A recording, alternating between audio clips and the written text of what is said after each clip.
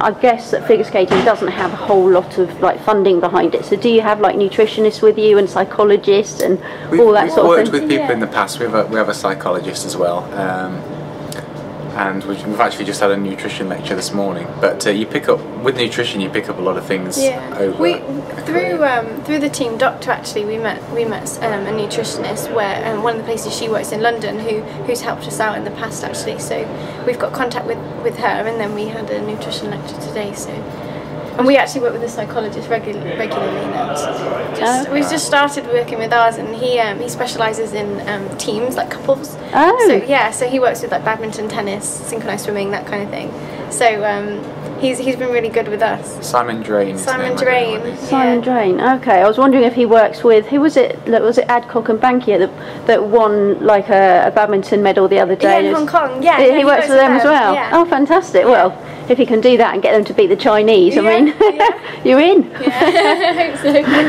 this isn't our sort of peak games. We're, we're sort of looking towards 2018. So for this, we just want to go out there and just show ourselves off as contenders for the next Olympics. Um, One of the things I'm particularly interested in is like women and young girls taking up sport and things like that. And it's obviously a problem in the news a lot at the moment. I would presume that ice skating is very different and that you've got more women, girls, young girls taking up the sport than boys. Is that the case or not? I would say so, yeah. You do see um, a lot of boys and girls starting initially, but then I think um, as, as they get a little bit older, because of like the stigma of it for boys, it's perhaps a bit harder for them to continue, which is such a shame because you know it is a sport, it is very different, and it would be nice to have like more male athletes out there. What about something like dancing on ice? Does that in, has that encouraged people to take up skating or not so much?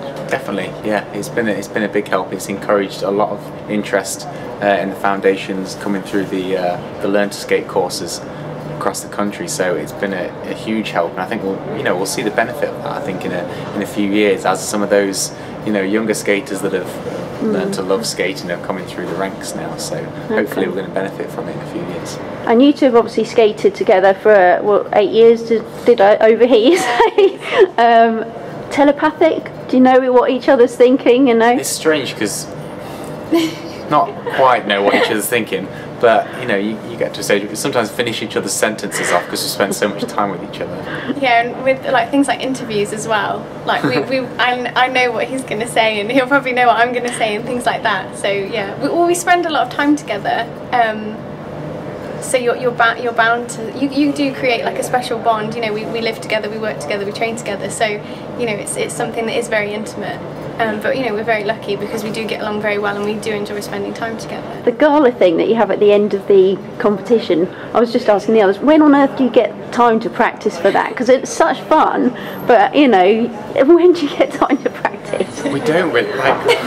we, we don't. That's the thing. You have to prioritize. You've got to. You know, people want to see your, your routines and your performances properly, so that's got to take priority. We literally did half an hour, an hour routine before we came Thursday afternoon because we knew we were going to have to do it, and you can't come and look stupid, especially when you've just been crowned British champions and is the best in Britain, and you go out and make a fool of yourself. So you have to make sure you know what you're doing, but you can't give too much priority to it, can you? especially when there's two of you as well because you know if we were skating by ourselves we could just sort of improvise it a little bit but you know we have to make sure that we're both doing the same thing so At least roughly. we yeah Roughly. so we do, we need a plan but you know we, we actually sort of did a little bit on the ice and worked it out a little bit on the floor too so we had a plan. Just before I, I skate we like sort of we both look at each other and say just enjoy it. Like how lucky are we to be able to you know be at Olympic Games to do something we love every day and perform to all these people and you know just go and enjoy it. This is what you work for. There's no point worrying or stressing over it. Just go out and have fun. Yeah. So Those you- experiences are once in a lifetime. exactly Uh, so you, you'd be a fool not to take everything in and try and enjoy it as much as possible. I mean, you're, you're super nervous, but at the same time, there's thousands of people watching you, and you know you just have to try and enjoy it as much as you possibly can. Yeah. By the way, I haven't actually asked how you are because I thought you might be bored of the question. but I really should ask you, how are you? Yeah, I'm good. Yeah, I'm absolutely fine. Yeah. I was fine after after a week. Really, I was on the ice after a week.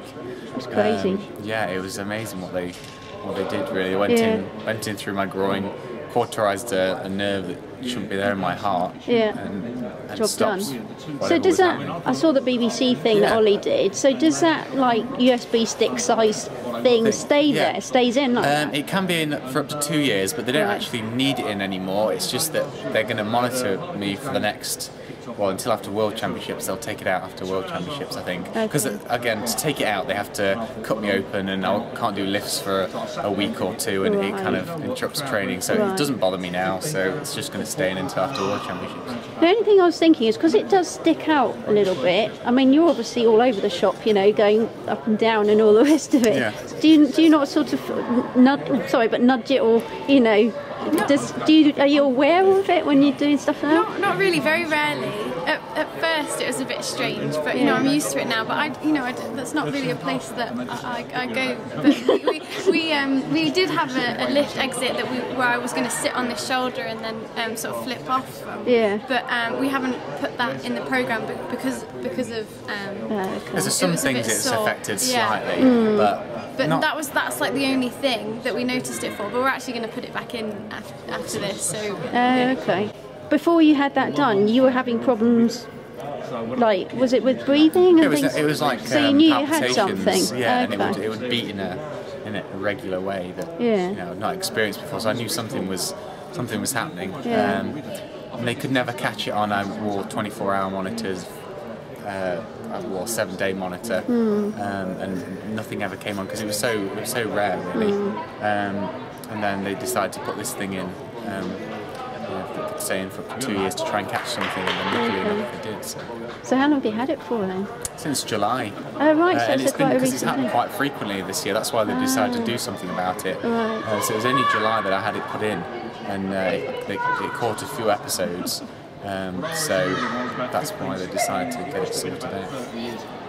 God, how did you feel with all this? I think it was quite scary at first because you know it's the unknown. Everyone's scared of that. But actually, when we found out exactly what was wrong with him, he was sort of in and out of hospital within a day and back on the ice within a week. So it all went really well and it was quite quick. So you know we're we're just sort of relieved now that it's done and that Right. that thought isn't at the back of our minds anymore. You know we know exactly what it is and it's cured now.